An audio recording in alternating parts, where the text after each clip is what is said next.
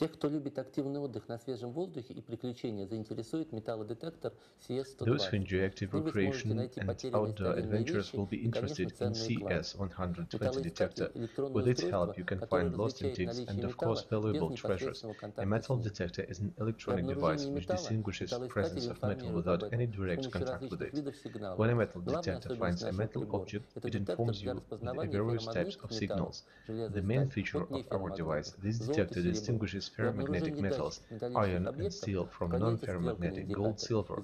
When the detector finds metal objects, the arrow on the display deviates and a signal sounds. Indications depend on the type of metal. To use the device, you will require a 9-volt battery and possibly to connect headphones via a three-and-a-half millimeter connector. After you connect the headphones, the internal speaker is muted. The depth of metal detection from 100 to 100 and a half millimeter. Assembling the detector is very simple and requires no special tools. First, assemble the bar, then fix the block case on the bar, then fix the coil. Wrap the cable around the bar and set the plug into the socket of the case.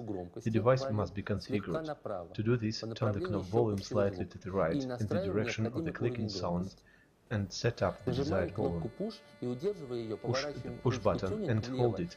Turn the turning knob left or right until the arrow indicates zero.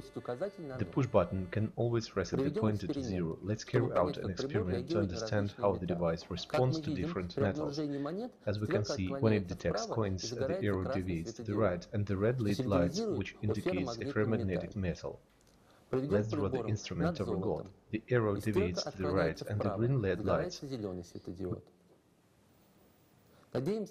hope that when working with this metal detector, the arrow will often deviate to the right, and the green LED lights. Good luck in your search.